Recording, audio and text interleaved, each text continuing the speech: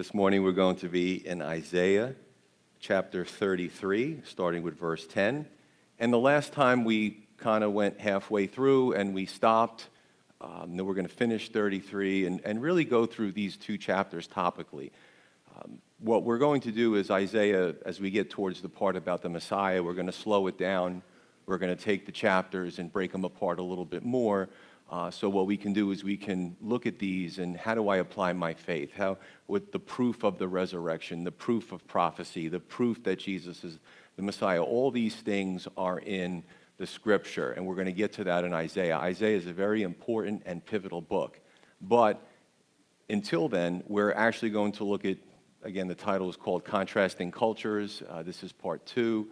And we see the backdrop or the context of, you know, we're before 701 BC in the Middle East, uh, Israel, and uh, she's being threatened by a kingdom called Assyria, which came before, actually, it was Syria, then Assyria, then Babylon, and then as we get to the Persians, Greeks, and Romans, we, we kind of understand where we're at and get our bearings. But they are coming down and they're going to be surrounding Jerusalem and the people are, are upset. But there's three types of cultures that are going on at the time. And what's interesting is today, you can look at anything that's going on in the world, and you can take those same issues in the world and apply them to the, what the scripture says about cultures. And we had the culture of the world. The Assyrians were threatening everybody. Uh, the Babylonians were on the rise next. And today we could look at cultures too. You know, we wasn't that long ago we had World War I, World War II uh, dictators rise up and they're hell bent on world domination. So you got the culture of the world. The second culture is interesting. This was the Jerusalem culture. Whether you look at the Old Testament or the New Testament, it was very clear that all those who were in Jerusalem had the accoutrements of religion and the temple and all those wonderful things. Not everybody's heart was right with God.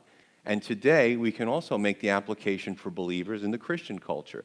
There's a lot, you know, supposedly Christianity claims 1 billion adherents, but we know through the scripture, whether it's the, uh, the mustard seed that grows into this dominating tree or Jesus' parable of the wheat and the tares, everything that calls itself Christian is not Christian.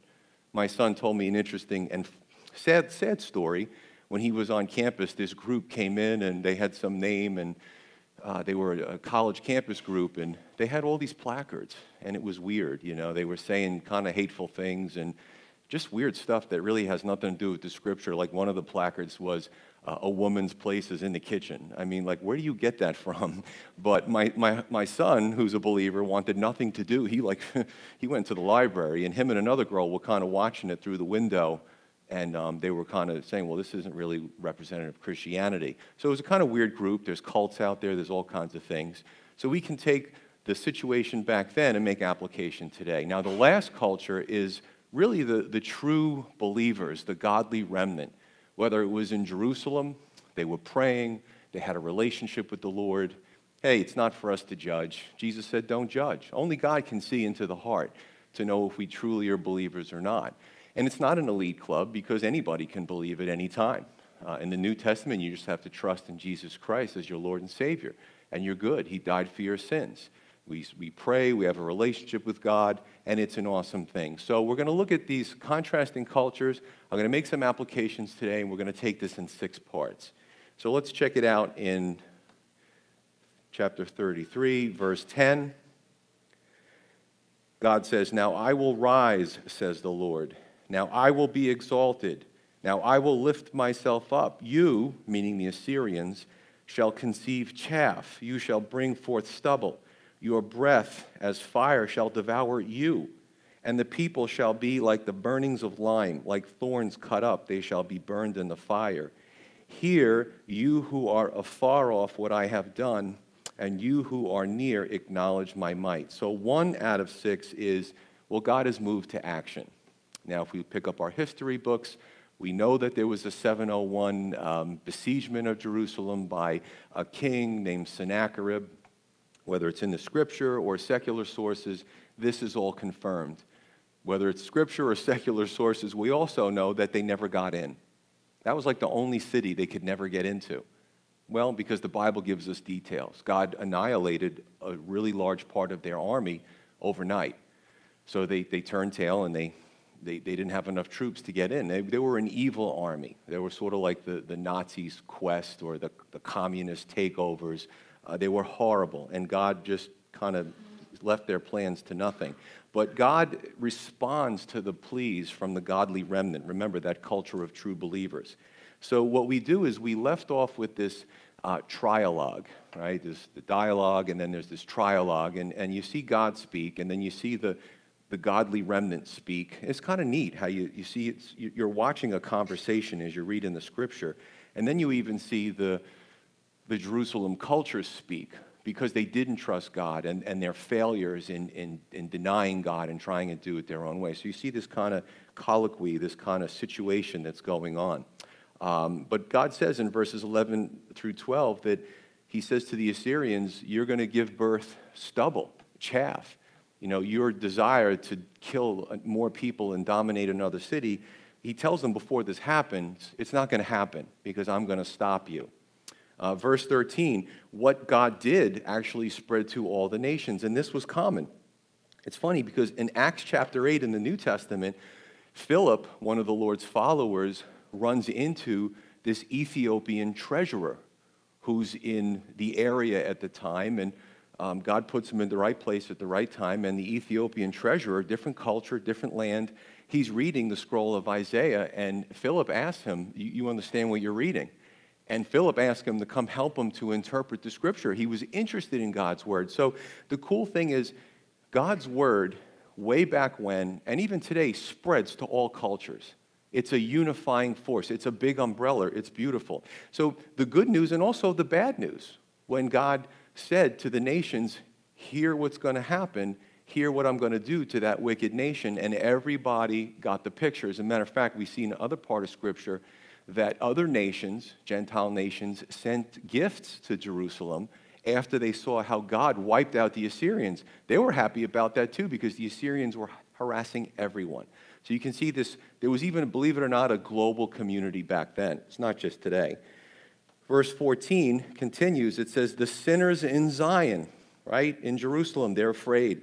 Fearfulness has seized the hypocrites. Who among us shall dwell with the devouring fire? Who among us shall dwell with everlasting burnings? He who walks uprightly. So you got to watch in between each verse. There's like a question and answer. There's a Q&A going on.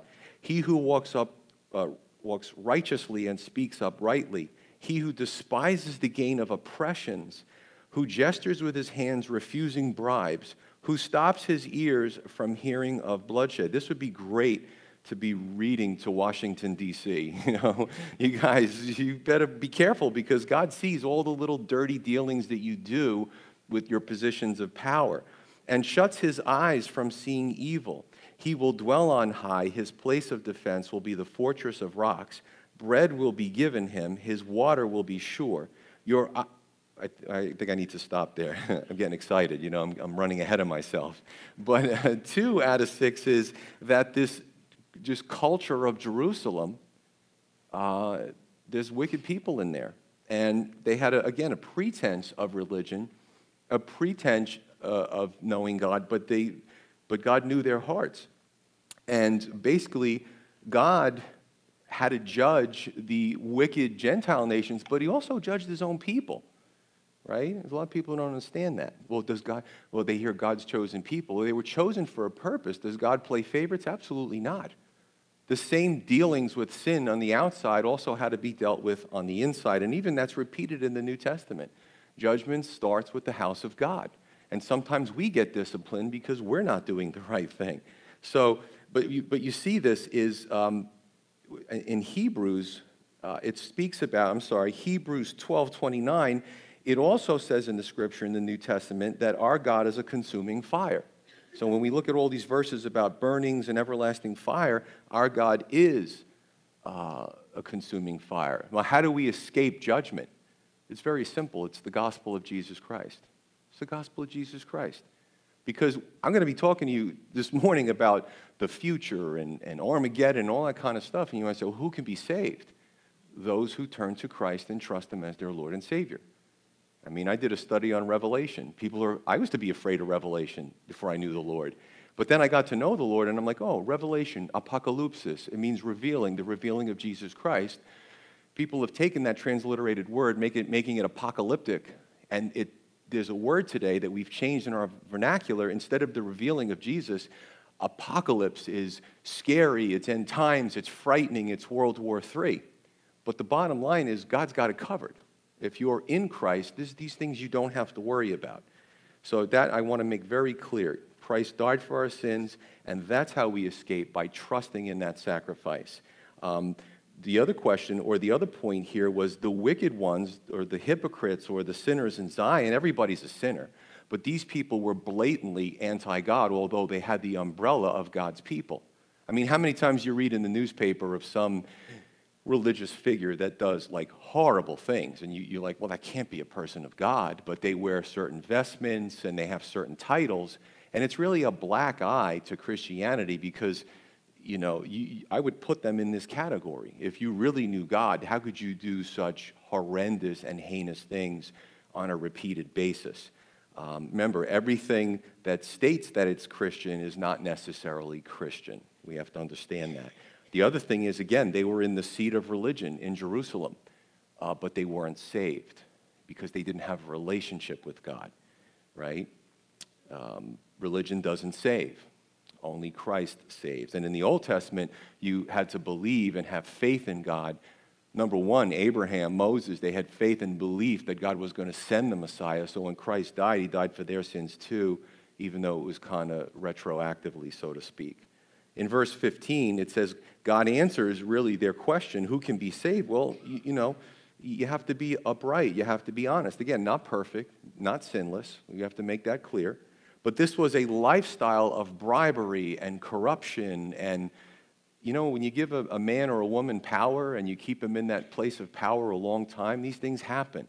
It's like the, the old expression absolute power corrupts absolutely.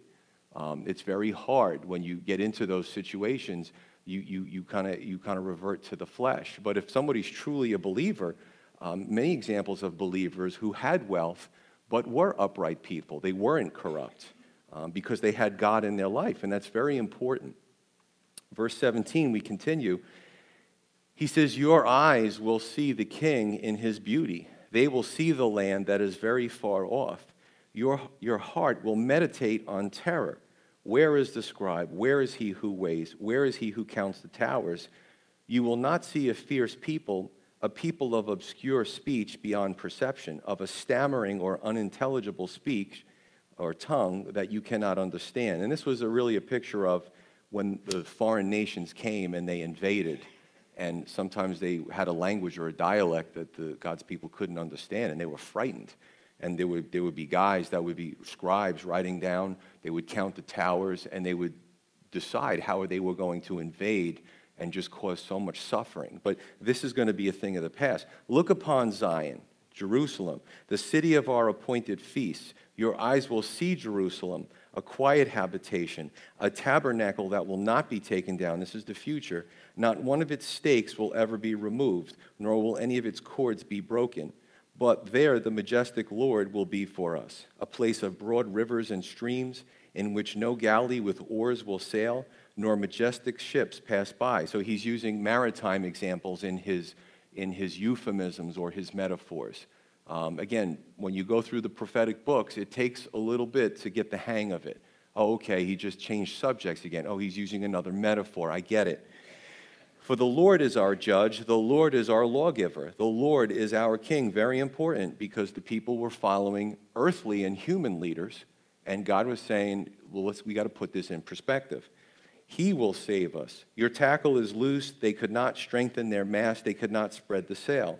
Then the prey of great plunder is divided. The lame take the prey, and the inhabitant will not say, I am sick. The people who dwell in it will be forgiven their iniquity. So, three is the encouragement to the godly culture who trust in God, and also a look to future Jerusalem. So, our understanding when we read um, Ezekiel, when we read Isaiah, when we read Revelation, when we read the New Testament, the Gospels, Jesus elaborating on this stuff, we know that when Christ comes again, he will reign from Jerusalem. He will be the perfect king. He will be, uh, it's amazing what it says here. He will be the three branches of government that we have, right? The, he'll be the executive, he'll be the king, he'll be the judicial, he'll be the legislative. Now, our founders were smart enough to separate that in the United States. So you look at a lot of these monarchies in England and even uh, in, in ancient Israel. And the sad thing is the people would groan when a bad king would come into power because y- there was no checks and balances. The beauty of our country, even though it's not perfect, is there's three co equal branches of government. So there's checks and balances. But when the Lord comes, he will inhabit all of those. He will make the laws, he will enforce the laws, he will, he's the righteous judge, he will decide on cases, and he's also the executive, he's the king. And as believers, when we understand the scripture, we look forward to this because whether it's New Jersey or the county we live in or the town or the country, people have gripes about politicians. so uh, I, I, don't want to say that Jesus will be a politician because it's got a negative connotation, but he will be the king ruling from Jerusalem, and there will be a point where there'll be this, this peace. There won't be any more invasions. There won't be any more wars. There's a lot of people who are going to be out of business in this beautiful millennial kingdom in our future.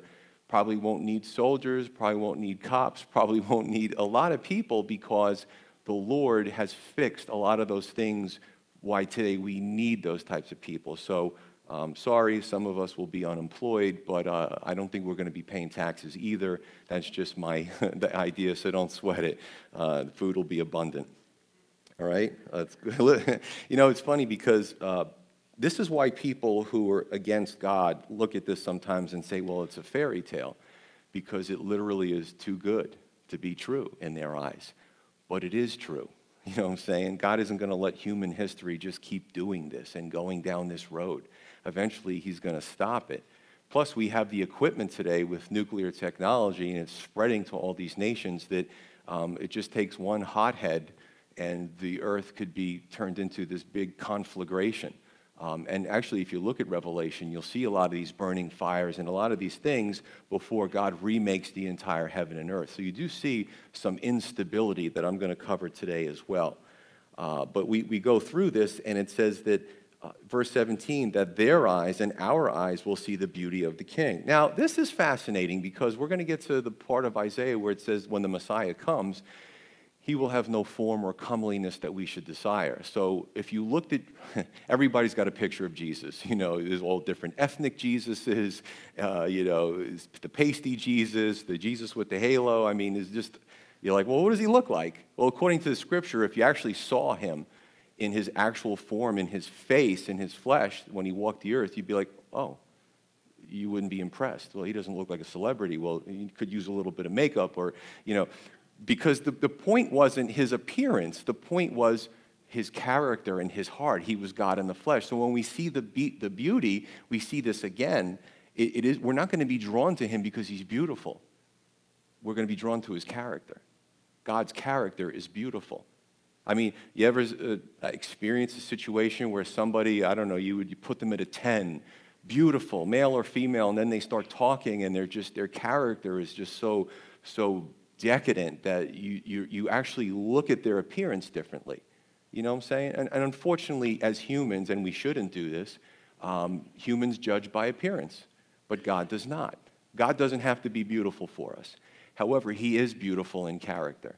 So this is going to be an exciting time. Um, everybody with their pictures of Jesus when He comes and they, you know, they're going to throw their pictures away and go, he's just wonderful. You know what I'm saying? It doesn't matter what he looks like at this point.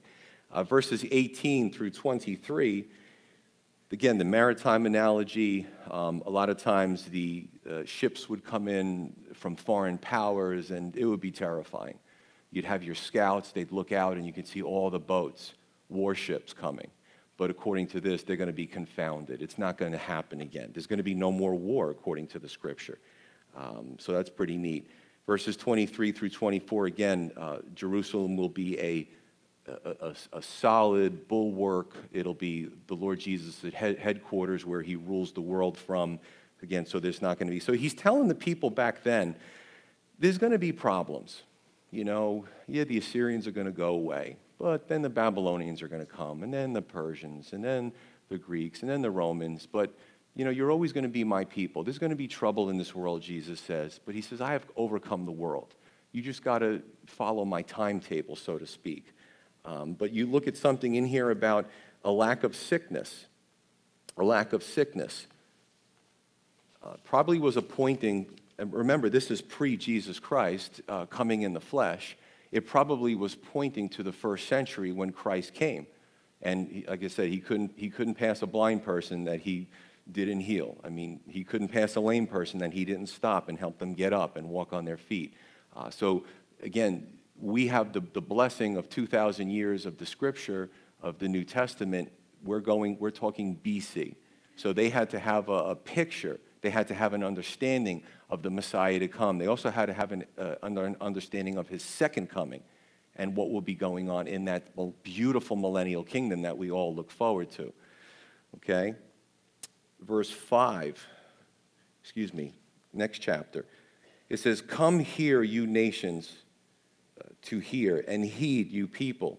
But let the earth hear and all that is in it, the world and all things that come from it. For the indignation of the Lord is against all nations because of the wickedness that they were practicing and his fury against all their armies. He has utterly destroyed them. He has given them over to the slaughter.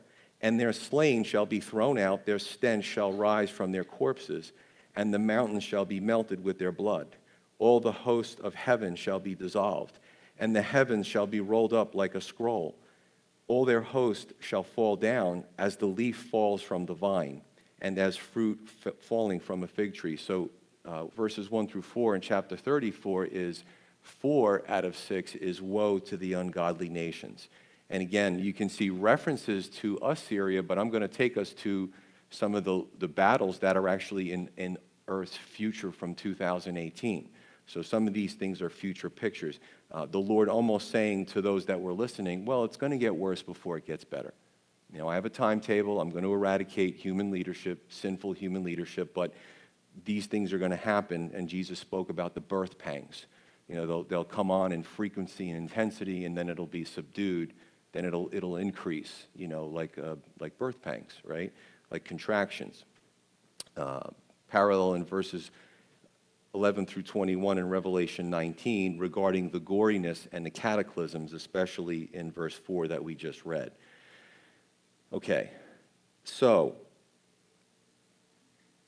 he says in, in verse 1, this is almost like, you know, God loves all people. It doesn't matter, you're in a group, okay, he can address your group, but he can also address you as an individual. And he also is addressing the, the nations don't go down this road. It's going to end up in judgment. You want to make war, you want to make these problems, I'm going to eventually humble you. He's also speaking, I believe, to the soldiers. Now, if you look at any major battle, wherever it was, there were people who were deserters saying, you know what, I just, there were people on bad armies who deserted. Know, there was some in the Russian army, there was some in the German army. They, you see the statistics if you look it up. How many thousands of deserters they just took off. They went into the country or somewhere and burned their uniforms. So I, I believe God here is, again, it's a warning. Just because it's your group it's your profession, it doesn't mean that you have to be a part of that because I'm going to judge that situation because of their witness, uh, wickedness. In verse 1, he says, Come, hear, heed. All right, he's speaking to those that are still making a decision. Do I want to follow this road or do I want to follow that road? Come, hear, heed. Okay? And, and he says that today to us. There may be some here this morning who, you're just not buying the whole God thing. You're not buying the whole Christian thing. God is trying to get your attention through this message. You know, he wants you, I, I'm going to get to the part where he says, test me, see if these things don't come to pass. That's what I love about God, is it's not blind faith, it's articulable faith. And I make that, that case in apologetics. But God judges, he has to judge sin on the earth, but he takes no pleasure in it, right? because God's perfect. There has to be justice. There's really a lack of justice in this world. Still things going on that I can't believe after so many years that nations and human beings and organizations tolerate it, right? It's not good. He has to judge sin. And in his timetable, he will. Now, from my studies, there's two major battles that are going to come upon the earth. Okay? There's the Armageddon, which is found really in Revelation. It encompasses really the world's armies. And you can see things heating up in different quadrants, who's aligning with who. We see it today. There's also the Ezekiel 38 and 39 battle, which is, I believe, is a different battle. It's limited to certain nations, and its design is to invade Israel. I believe Ezekiel 38 and 39 comes first. Now, if we can put up image one, put up image one of the map this is where it's all going to happen. Hey, what about the United States? I, got to tell you, folks, when you read the scripture, this is where it started, this is where it's going to end. So, what's going on today? Well, if you look at thir- Ezekiel 38 and 39, some interesting things are happening today. And in the roughly 27, 2800 years since Ezekiel wrote this prophecy, we've never seen this until the last few years. So, Syria today uh, has a few nations. Ezekiel 38 and 39 speaks about the Persians, one of the big aggressors. This is Persia. It's just now called Iran. Iran is over here, and Iran recently has been trading rockets and missiles with Israel's army across the Golan Heights. I know, I know, the media is focused on did you hear Yanny or did you hear Laurel? You know what I'm saying? Some of you are like, what did he just say? Just look it up when we're done. But they're focused on nonsensical issues, but these are the things that can plunge humanity into a place of destruction. So you have Persia's over here, you have Russia is over here, you have Turkey is now involved, you have Hezbollah, you have the Sheba and Dedan down here, not really wanting to physically get involved, but saying, hey, what's going on over there? Gets even more interesting. If you look at Iran's idea, there's two different types, well, there's a few different types of Islam, but the main ones are Sunni and Shiite. Uh, Iranians are Shiite, Syria mostly, and Hezbollah. So they've made this crescent across the top here. Down here, they're Sunni. There's some Sunni over here in Africa, there's some Shiite. If you follow, again, you won't see this in the mainstream media because they don't really do their homework anymore, but if you follow uh, eschatology, well, we believe the Messiah is going to come and he's going to make an everlasting peace and bring everything together. However, if you read Al Jafar, which is the Shiite holy uh, books and writings, it says that it says the Shiites must invade Jerusalem before the Mahdi comes, which is their last Messiah. Okay? You're like, wow, where did all this stuff come from? But this is, this is fact. And we've accelerated the program by some years ago, boosting Iran with money and, and not watching what they were doing. So here we are, we're in this position. Iran um, sent rockets over the Golan Heights. Israel responded with warships, you know, and, and they uh, just started hitting them with missiles and blew up some of their camps and killed some of the Iranian soldiers. This problem isn't going to go away anytime soon, just so you know. Why do I say this? You see, I say it with a smile. You're like, well, he must be crazy.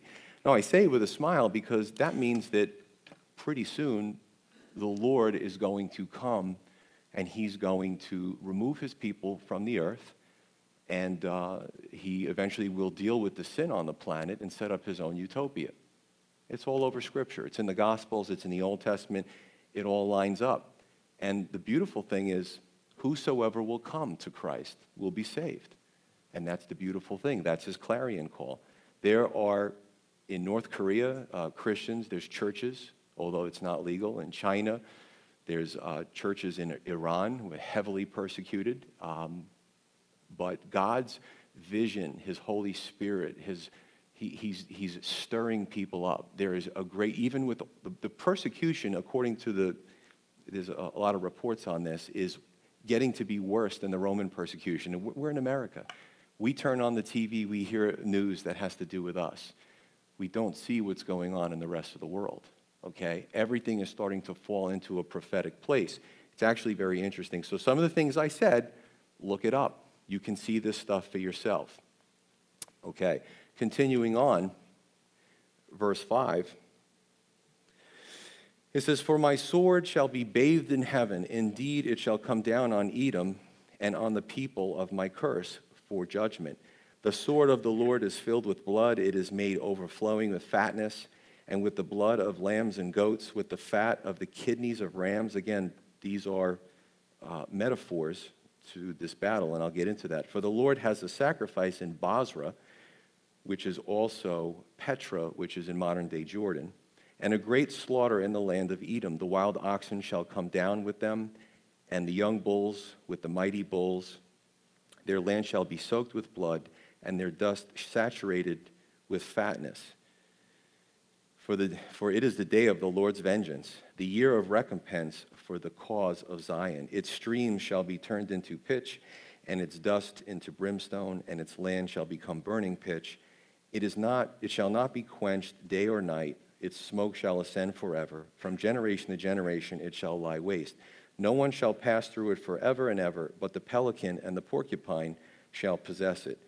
Also the owl and the raven shall dwell in it and he shall stretch over it the line of confusion and the stones of emptiness. They shall call its nobles to the kingdom, but none shall be there. And all its princes shall be nothing. And the thorn shall come up in its palaces, nettles and brambles in its fortresses, shall be a habitation of jackals, a courtyard for ostriches. The wild beasts of the desert shall also meet with the jackals, and the wild goat shall bleat to its companion, and the night creature shall rest there and find for herself a place of rest. There the arrow snake shall make her nest and lay eggs and hatch and gather them under her shadow.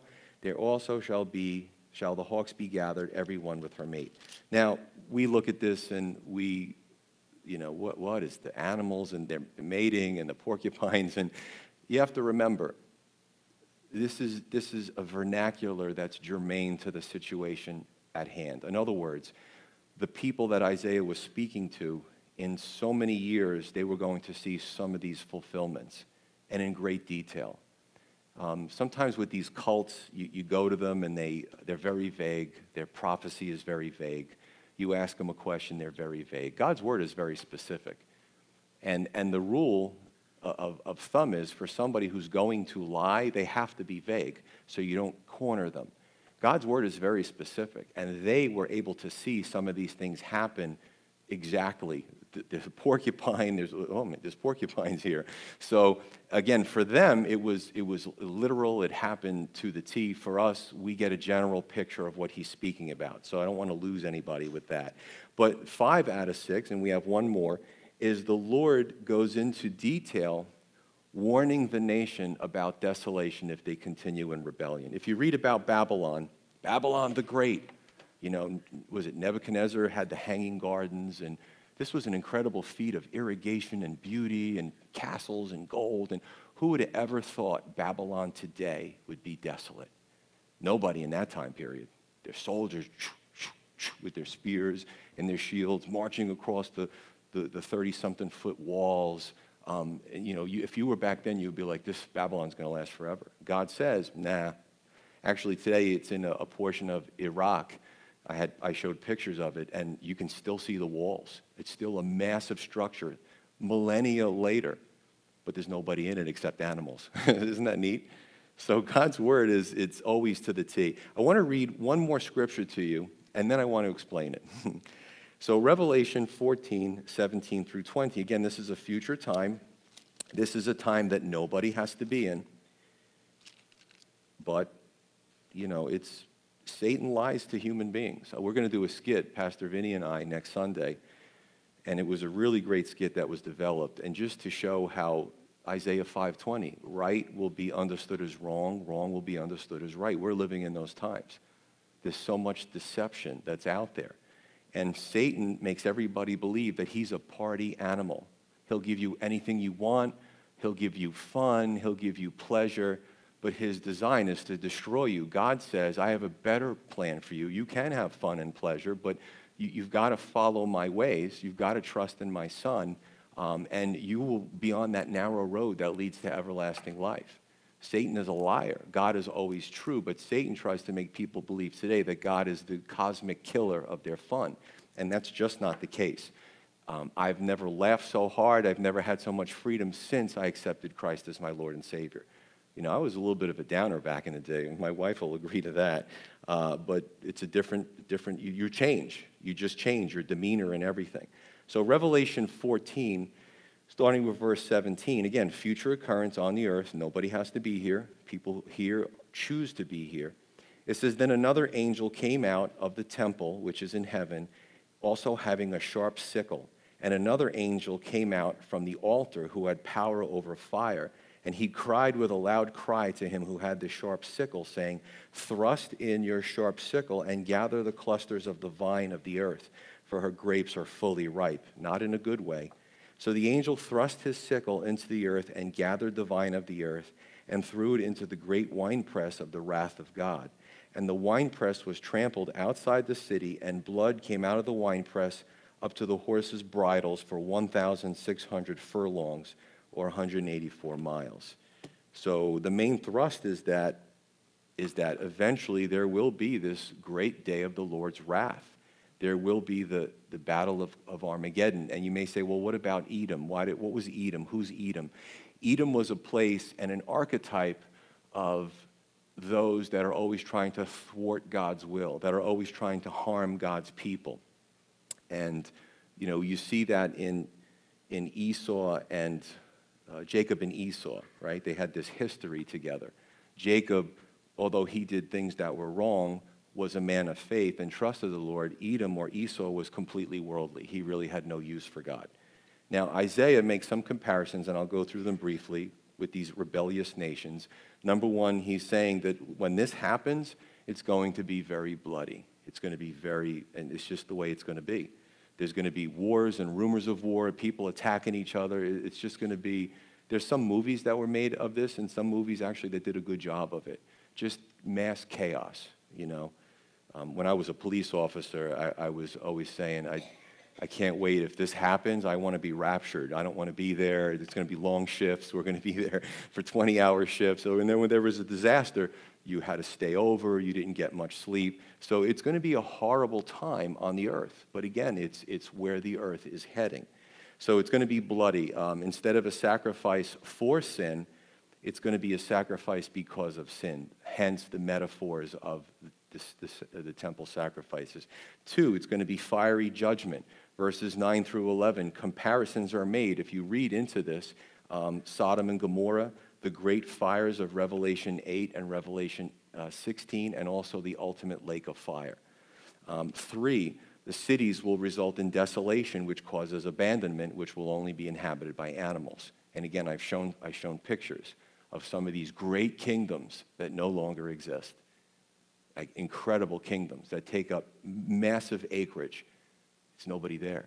There's weeds, there's growth, there's natural and, and animals live there, just like the Lord said that they would. Um, this happened in Babylon, which I talked about. Also, uh, Sodom and Gomorrah today, if you go to that area, it's desolate. It's salt. Um, it's a heavy salt and mineral content because God made it, He turned it into nothing. Um, again, even Bozrah or Edom, Petra, Jordan, and I've covered this as well. Um, the Edomites, who were, again, the archetype of those that were against God's people, they were pushed out of their place, their land, right? The Edomites, by the Nabateans.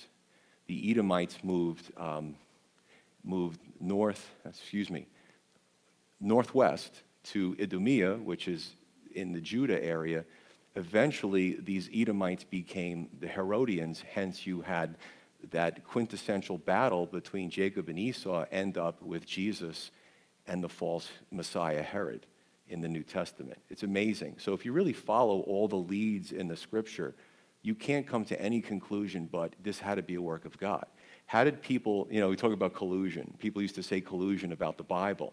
How do you get a bunch of people who never met each other, who spoke different languages, who lived in different time periods to collude on something that it's like this incredible conspiracy with so much detail, it's just not possible. People never even met each other, never lived at the same time, never lived even in the same culture.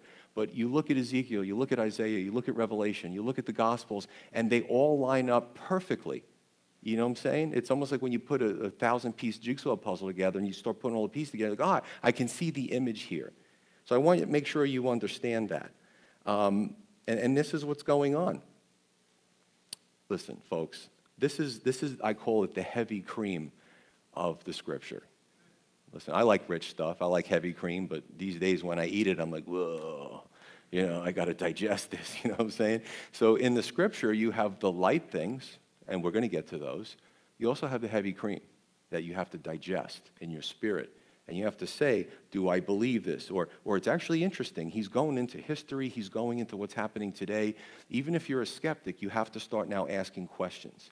You have to go on your quest for proof. Is this nonsense or is this truth? Right? First, last two verses. Um, and again, he says in 33 13, here, all those that are far off, he says in 34 1, let the earth hear and all that is in it, let the world and all things that come forth from it. So he keeps, he sends his couriers out there. Acts chapter 8, it went all the way down to Ethiopia and, you know, the continent of Africa. Uh, and they were reading the, the, in the first century the scroll of Isaiah, wanting to know what it said. So God's word will get out there. That's, that's definitely going to happen. Verse 16, last two verses, it says, Search from the book of the Lord and read. None, not one of these things shall fail. Not one shall lack her mate. For my mouth has commanded it, and his spirit has gathered them. He has cast a lot for them, and his hand has divided it among them with a measuring line. They shall possess it forever. From generation to generation, they shall dwell in it. So, six out of six is, and God does this a lot in his word. He challenges the skeptic I love talking to atheists and scientists, and you know, I really I have fun. I like to debate. Um, honestly, if this was a fairy tale, I'm up here wasting my time. I could be doing a lot of other things. I, I'm not going to waste my time on something that's not true. So I love the, the skeptic. I, when someone says to me, "Well, I'm a skeptic," I'm like, "We got to talk." Because I'm still waiting for the great argument, and it's not even, we're at an impasse. Well, I heard this, well, I read this, well, well, let's look at that source. Let's follow the money. Let's follow these groups. Let's look at the ancient manuscripts. Let's look at archaeology. Let's look at science. Because God says it, challenge me.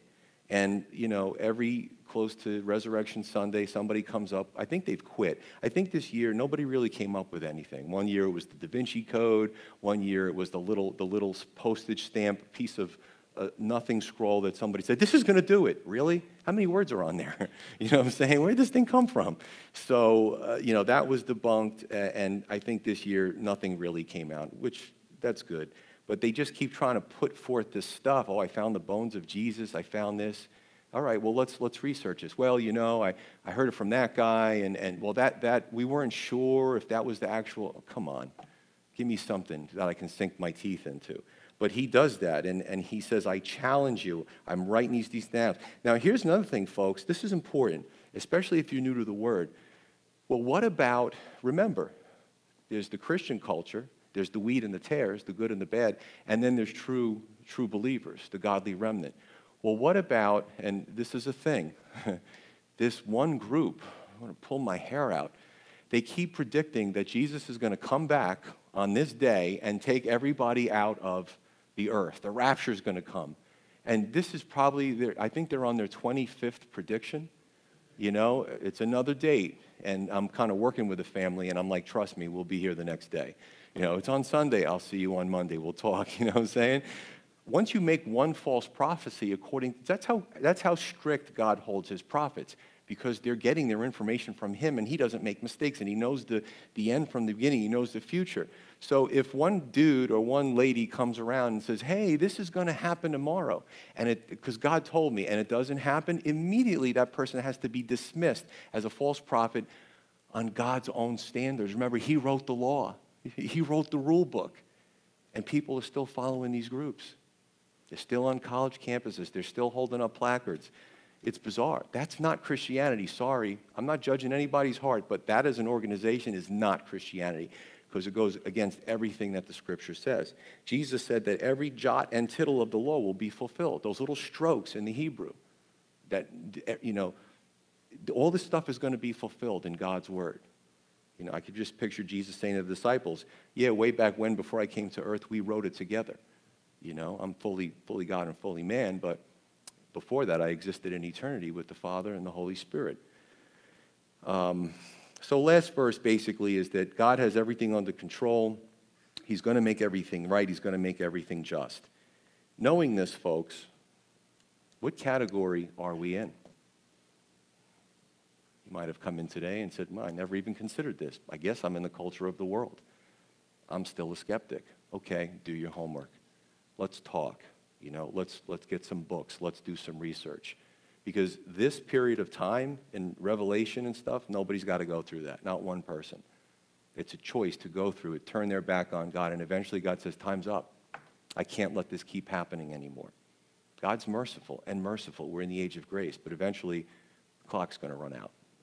Second group is the Christian culture. In every church, there are people in the Christian culture, in the Calvary Chapel culture, in the Baptist culture. That doesn't mean that you know Jesus as your Lord and Savior. So, and again, I'll put our Calvary Chapel in that pot too. Plenty of people in Calvary Chapel that really don't know Jesus, but they love the church. And I'm talking about all Calvary Chapels. And then there's the godly remnant. And again, it's not an elite club because everybody can be in that. But it's when you have, in a finite point in time, made a decision to trust Christ as your Lord and Savior, to give him your heart, to give him your future, to give him your hopes and dreams, and most importantly, to say, My sins that I've committed, I trust that you've paid for them at the cross. I want the freedom that you're looking for. So at the end of the day, I don't care. This was written almost 3,000 years ago. It has an application for 2018 in the United States. But the choice is yours. Let's pray. Father in heaven, Lord, we, we love your word. It's powerful, it's good, it's so detailed.